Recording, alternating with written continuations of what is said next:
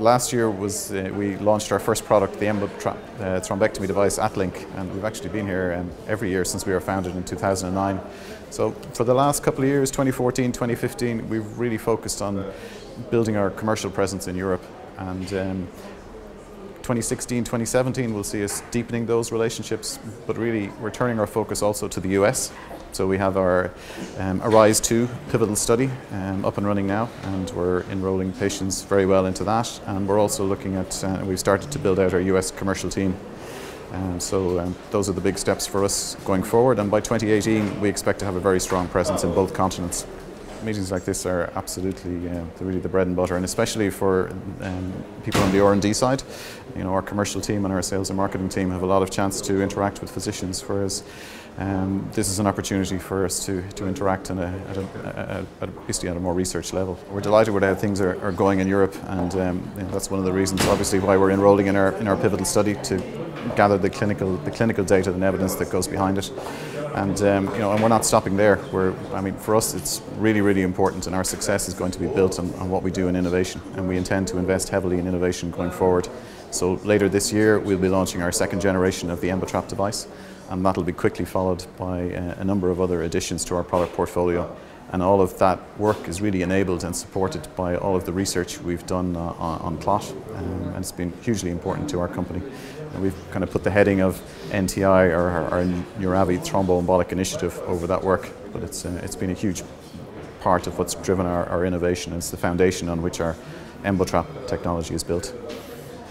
Would you just briefly describe that, that technology? Because I think it's interesting, since you've spoken about it, to talk about the technology itself.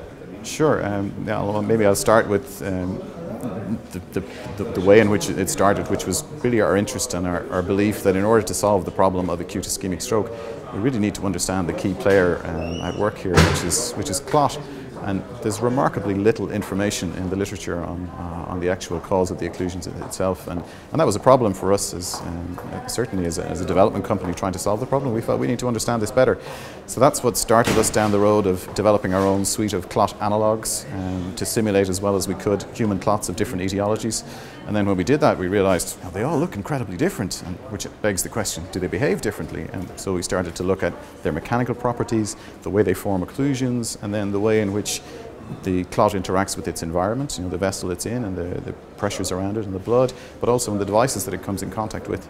And all of that work um, has been hugely um, impactful on the design of the EmboTrap device. So we've developed that device really to deal with the fact that there isn't one single type of clot out there. You know, clots are, are not homogeneous materials, they're a living biomaterial, they're composed of a lot of soft uh, basically soft friable material, but they may have a really firm, dense polymer structure as well, very which is that fibrin. Situation. Very much so, very much so.